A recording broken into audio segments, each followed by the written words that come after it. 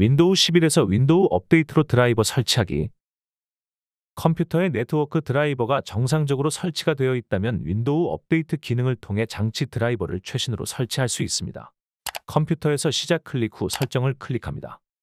설정 메뉴에서 윈도우 업데이트를 클릭 후 업데이트 확인을 클릭합니다. 고급 옵션을 클릭합니다.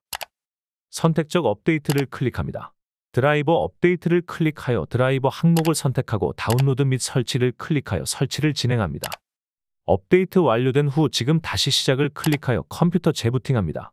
윈도우 업데이트 도중 바이오스 업데이트가 자동으로 진행될 수 있습니다. 바이오스 업데이트 화면이 표시되는 경우 화면의 지시에 따라 진행해 주시고 강제로 종료하지 마시기 바랍니다. 컴퓨터 재부팅 후 최신 버전의 드라이버로 윈도우 사용 가능합니다. 카카오톡 채널에서 HP 코리아 채널을 추가하십시오.